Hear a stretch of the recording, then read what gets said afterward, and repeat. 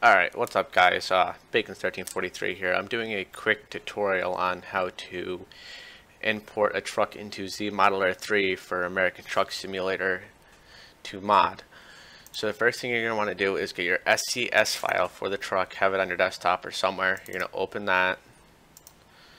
Now what you want to do is create a folder on your desktop. Doesn't really matter what you name it. We can just do Freightliner, close enough, whatever.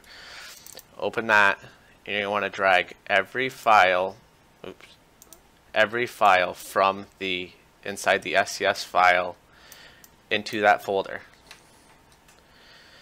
That way you can use that folder that's on your desktop to mod off of. So you can exit out of the SCS file now. So you got that open like that.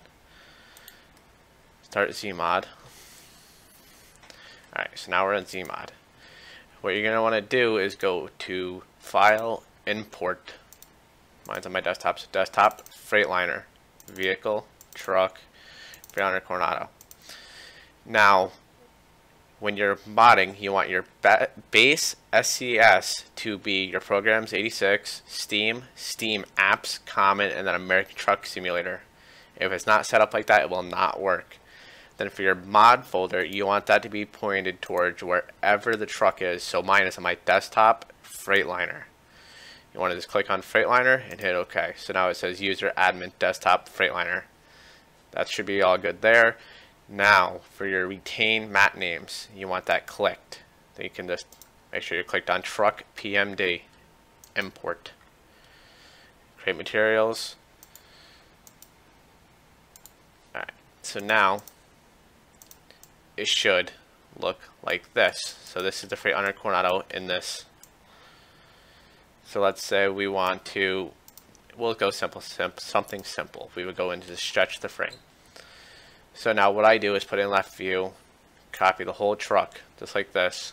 Go up here, click vertex, click again, and then it brings this up.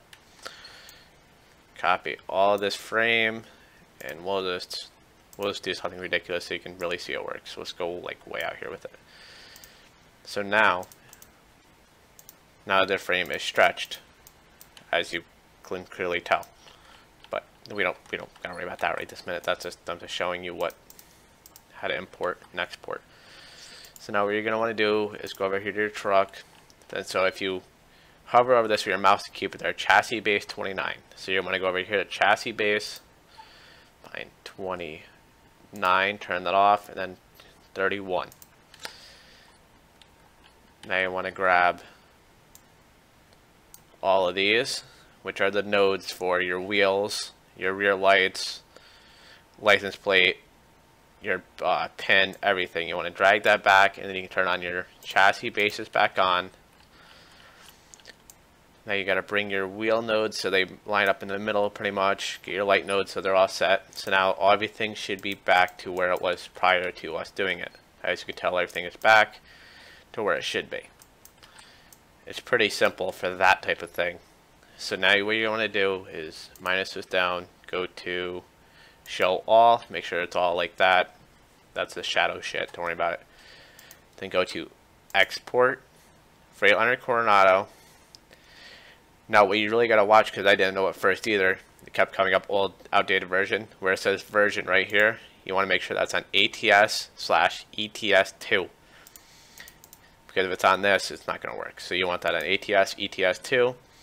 It's a PMD SES software. Make sure this is all back to Freightliner and American Truck Simulator.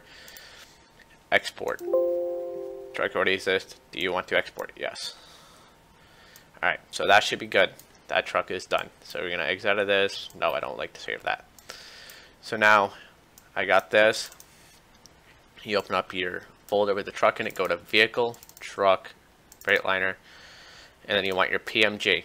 So now open up your mods folder, and then the SCS file in the mods folder. Go to vehicle, truck, Freightliner Coronado, truck PMG. Now take this truck PMG, slide it straight over, compression method, store, OK. And now it should be good to go. Start the game.